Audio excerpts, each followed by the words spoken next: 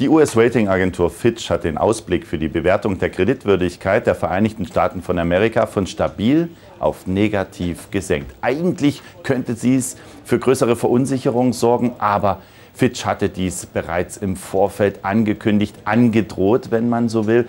Und auch die Ratingagentur SP hat ja vor geraumer Zeit schon genau dasselbe getan. Insofern halten sich die negativen Reaktionen des Marktes in Grenzen. Ganz im Gegenteil, der Dow Jones schloss gestern in den Vereinigten Staaten mit 2,6 Prozent im Plus. Und auch der DAX kann seine deutlichen Kursgewinne des gestrigen Tages heute bestätigen, kann sich wacker halten und zeigt sich sehr fest bei 5.755 Zählern im Augenblick mit 10 Punkten oder immerhin 0,2 Prozent im Plus. Also Gewinnmitnahmen am Aktienmarkt haben im Moment noch nicht eingesetzt. Und genau darauf haben die Derivateanleger hier an der Euwax in Stuttgart so ein bisschen gewartet. Es war noch keine eindeutige, klare Tendenz in Bezug auf den DAX erkennbar. Man wollte erst mal wissen, in welche Richtung das Pendel des DAX vielleicht ausschlägt. Jetzt tendiert er nach oben und jetzt kommt auch ein bisschen Nachfrage auf nach Call-Optionsscheinen, um diese Bewegung jetzt vielleicht etwas mitnehmen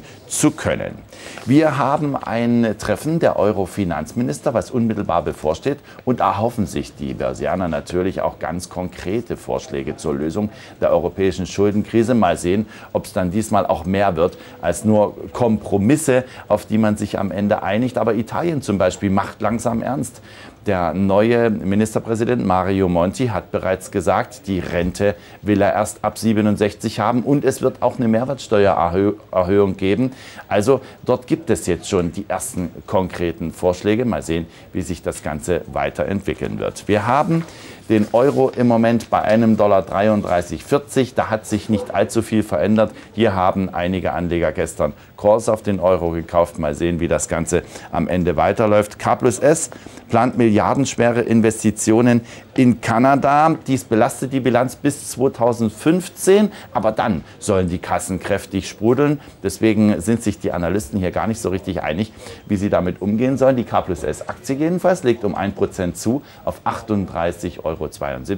Wird viele Derivateanleger freuen, die hier im Besitz von Call-Optionsscheinen auf die K plus S Aktie sind.